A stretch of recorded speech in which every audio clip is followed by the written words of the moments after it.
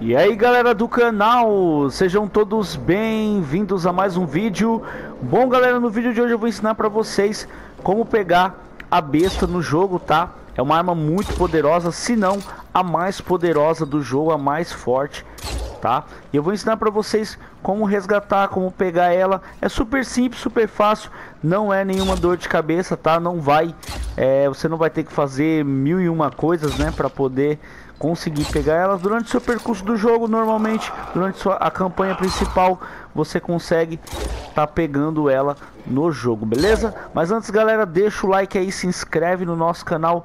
A gente está sempre trazendo conteúdos legais e bacanas de Dying Light para você que está jogando também é, a gente consegue aí poder te mostrar alguns easter eggs, algumas dicas também para poder melhorar a sua gameplay, beleza? Então vamos lá, galera, para você conseguir pegar essa arma você vai ter que atribuir aí, né, quatro instalações para os pacificadores. Você vai ter que fazer as quatro atribuições, as quatro instalações aí para os pacificadores, né? Então tá aqui, é, temos aqui já, eu tenho aqui já as quatro, né? Eu não fiz nenhuma para é, o outro outra categoria, eu só fiz para os pacificadores.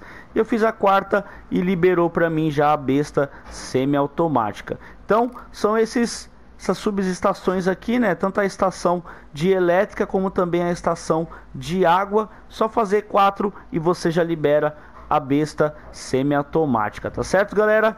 Então é isso aí. Esse é o vídeo. Eu vou ficando por aqui. Valeu, fui!